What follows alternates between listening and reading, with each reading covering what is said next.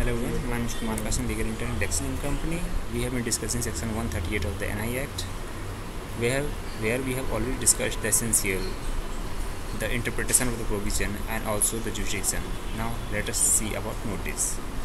Notice must be in writing, informing that the check has been returned unpaid. Also a demand of check amount must be made and it should be made within 30 days of the receipt of information of dishonor.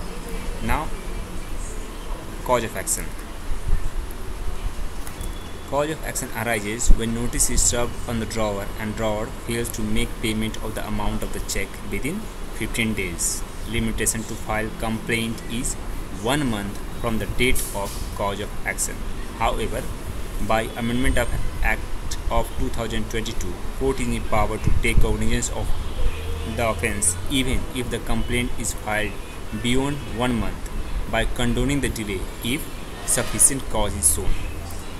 It has been held in various cases that offence is not made out when the check returned as de- defective. 1. In Babulal versus Khilji 1998. In the case of P. Raju Rathi Nalm versus State of Maharashtra 1999 when no notice is given to company and check is drawn by the company.